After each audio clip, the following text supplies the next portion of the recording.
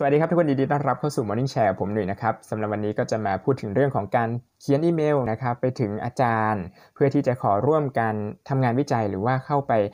เรียนหรือศึกษาต่อก็ได้นะครับ คราวนี้เนี่ยมันก็อาจจะเชื่อมโยงกับการเรียนต่อต่างประเทศนะครับ โดยเฉพาะอย่างยิ่งคนที่อยากจะมาศึกษาที่ประเทศญี่ปุ่น ก็จะมีการสอบถามหน่วยเข้ามานะครับ เกี่ยวกับการอีเมลถึงอาจารย์ในครั้งแรกนะครับ ว่าควรจะเขียนเนื้อหาควรจะ มีแพทเทิร์นอะไรประมาณไหนอย่างไรดีนะครับ ใน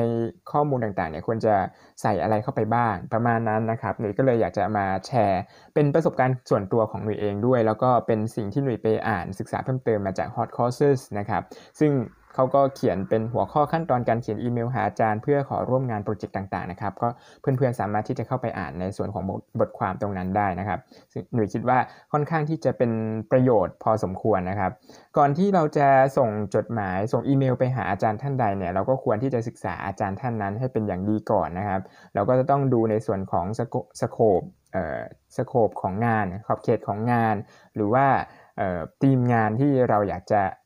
เข้าไปร่วมทำงานจริง สิ่งที่เรามีความสนใจจริง ๆ สิ่งที่เรากำลังศึกษาอยู่ แล้วก็เหมือนความเชื่อมโยงมันจะต้องมีระหว่างสิ่งที่เราศึกษาอยู่กับสิ่งที่เราอยากจะทำในอนาคตนะครับ ว่าจะเป็นอย่างไรบ้าง ซึ่งโดยปกติแล้วเนี่ยก็ไม่ควรที่จะเขียนข้อความหรือว่าตัวข้อความในอีเมลเนี่ยเยอะมากจนเกินไปนะครับ เพราะว่าอาจารย์แต่ละท่านก็จะมีภารกิจค่อนข้างที่จะเยอะนะครับ ดังนั้น ข้อมูลอะไรต่างๆเนี่ยควรที่จะสั้นๆนะครับสั้นๆ แต่ว่ากระชับแล้วก็สามารถที่จะอ่านแล้วเข้าใจนะครับในส่วนของทั้งแบ็กกราวน์ของเราความต้องการของเรา แล้วแล้วก็ในส่วนของการอยากจะเข้าไปทำงานวิจัยอะไรต่างๆ ได้นะครับ คราวนี้เริ่มต้นเลยก่อนการเขียนอีเมลอย่างที่หนุ่ยอย่างที่หน่วยบอกไปนะครับ ก็คือเราจะต้องหาข้อมูลก่อนนะครับ ว่าอาจารย์แต่ละท่านที่เราสนใจเนี่ยท่านมีงานวิจัยอะไร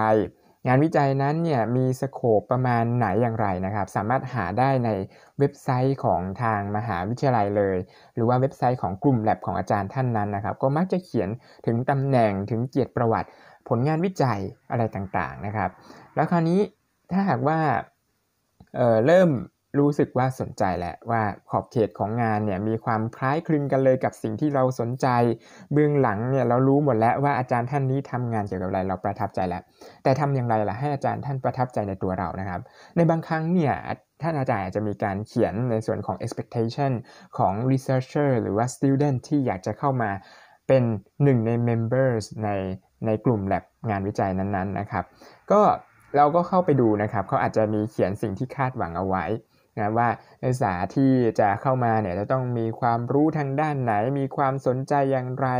นะครับ ควรที่จะมีลักษณะเป็นอย่างไรอะไรเงี้ยอาจจะมีเขียนก็ได้นะครับ แล้วก็ลองไปศึกษาดูนะครับ เพื่อที่จะได้เข้าใจเข้าถึงนะครับ ว่าเราควรที่จะเขียนอีเมลในลักษณะสโคปประมาณไหน เพื่อที่จะเชื่อมโยงกับสิ่งที่ ทางอาจารย์ท่านนั้นคาดหวังกับตัวนักเรียนที่จะเข้ามาอยู่อะไรอย่างนี้นะครับ คราวนี้ถ้าหากว่าเรามีความสนใจกับอาจารย์มากกว่า 1 ท่าน เช่น อาจจะสนใจ 3 ท่าน เราจะเปลี่ยนชื่ออาจารย์เฉยๆ แล้วก็ส่งซับมิดไป 3 คนได้ไหม อันนี้คำตอบก็คือไม่ได้นะครับ เพราะว่าอาจารย์แต่ละท่านเนี่ยก็จะมีสโคปของงานวิจัยแต่ละแต่ละอันเนี่ย ถึงแม้ว่า จะเรียกว่าเป็นทีมใกล้ใกล้เคียงกัน แต่ว่าสโคปของงานวิจัยเนี่ยก็ไม่เหมือนกันอยู่ดีนะครับ พออินดีเทลจริง ๆ แล้วเนี่ย ดังนั้นเราควรที่จะเขียนอีเมลใหม่นะครับทั้งหมดเลยทั้ง3ทั้งสมมุติว่าจะส่ง 3 ท่านก็คือต้องเขียนฉบับใหม่ทั้ง 3 ท่านเลยนะครับ อย่าไปเขียนเหมือนกันนะครับ เพราะฉะนั้นเออก็จะเป็นประมาณนี้ ในส่วนของระหว่างการเขียนอีเมลนะครับ ก็จะเป็นลักษณะของการเขียนอีเมลขั้นพื้นฐานเลย โดยทั่วไปนะครับ ขั้นแรกก็คือ dear หรือว่าเรียน นะครับ professor ชื่อนามสกุลนะครับ ก็อาจจะต้องระมัดระวังตัวนี้นะครับ ต้องมีการ careful เป็นพิเศษนะครับ ก็คือว่า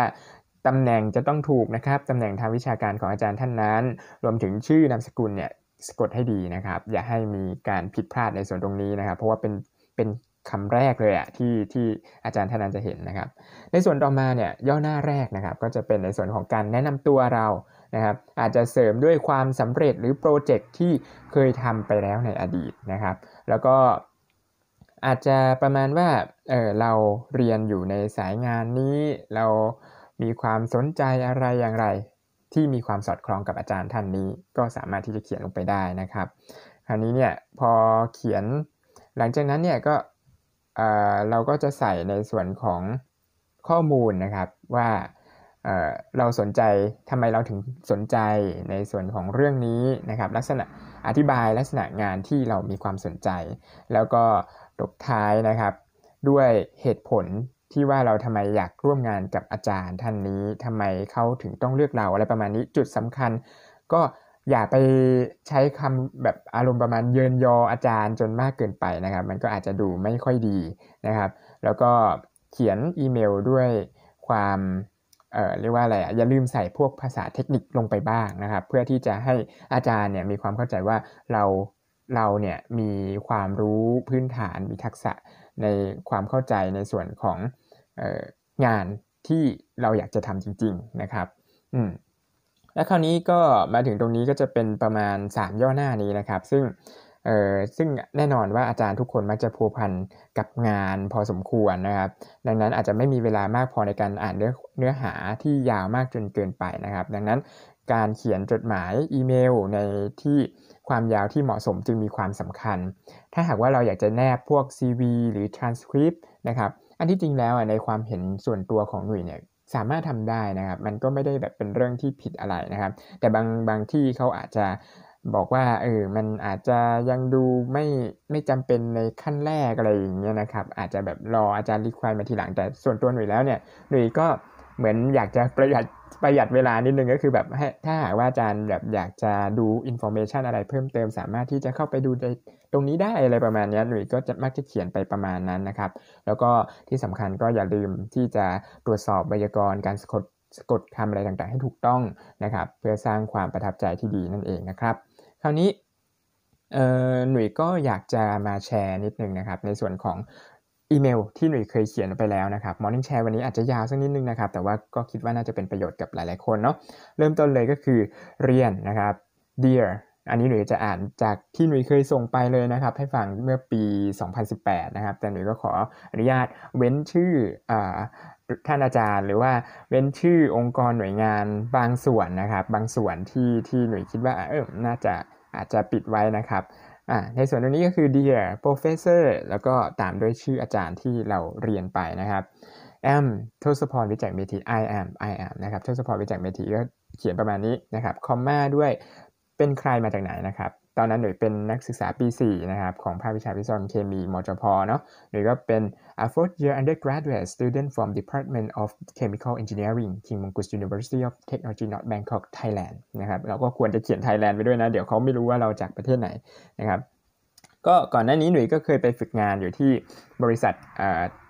oil and gas company แห่งหนึ่งนะครับในแล้วก็จะมีโปรเจกต์ที่หนุ่ยได้เคยทำเนี่ยหนุ่ยก็เขียนลงไปด้วยนะครับ I was a process engineer trainee and proceeded with the project in the topic of blah blah blah นะครับ on the blah blah blah at หน่วยงานชื่อหน่วยงานนั้นๆนะครับ แล้วก็ I have been working on my uh, senior project in the topic of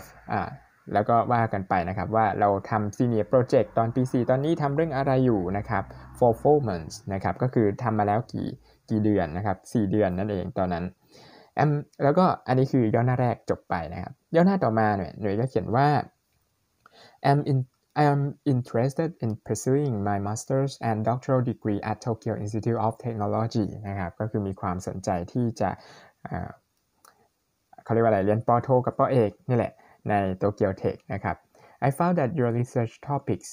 about separation process and supercritical fluids are very interesting because separation process is very important part of all chemical industries to reduce the amount of chemical substances reduce cost and energy consumption of the production or improve the process efficiency นะครับ อันนี้ก็คือแบบเขียนเลยว่าแบบเออเราสนใจงานนี้เพราะอะไรนะครับ มันมีความน่าสนใจของงานอย่างไรอะไรอย่างนี้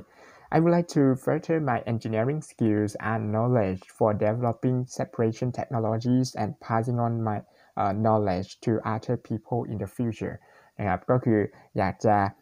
ไปเรียนรู้นะครับเกี่ยวกับ engineering skill นะครับแล้วก็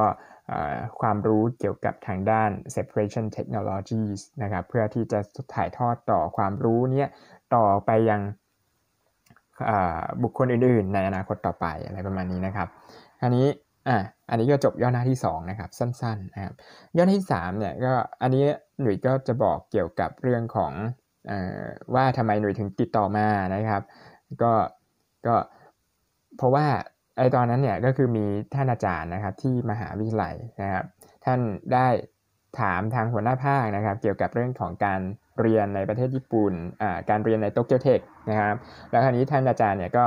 แนะนำในส่วนของการที่จะเริ่มขั้นแรกเลยเนี่ยก็คือให้เราเนี่ยไปพูดคุยหาหรือว่า get acceptance กับทางอาจารย์ของเราที่ที่เราสนใจก่อนอะไรอย่างนี้หนุ่ยก็เลยเขียนไปประมาณว่า my professor นะครับ แล้วก็ตามด้วยชื่อของอาจารย์ท่านนั้น contacted to professor at Tokyo Tech นะ for asking about the opportunity to study at Tokyo Institute of Technology for me and the professor ที่ที่ Tokyo Tech เนี่ย suggested me to find supervisor and get acceptance นะครับ if you need more information please let me know or find my attached resume for your consideration I'm looking forward to hearing from you นะครับ ก็จะเป็นประมาณนี้ แล้วก็ best regards นะครับ ก็ข้อมูลทั้งหมดก็จะเป็นประมาณนี้นะครับในส่วนที่หน่วยเขียนเข้าไป ในส่วนของท่านอื่นๆ ก็อาจจะมีวิธีหรือสไตล์ในการเขียนแบบอื่น ๆ อีกมากมายนะครับ แต่ก็อันนี้ก็น่าจะเป็นพอที่จะเป็นแนวทางหรือว่าให้เพื่อนๆ เอาไปปรับใช้กันในการที่จะเขียนอีเมล หาอาจารย์ที่ต่างประเทศหรือว่าในประเทศไทยก็แล้วแต่ต่อไปนะครับสำหรับวันนี้ก็เป็นประมาณนี้นะครับ แล้วพบกันใหม่ในพิโซดหน้าครับ สวัสดีครับ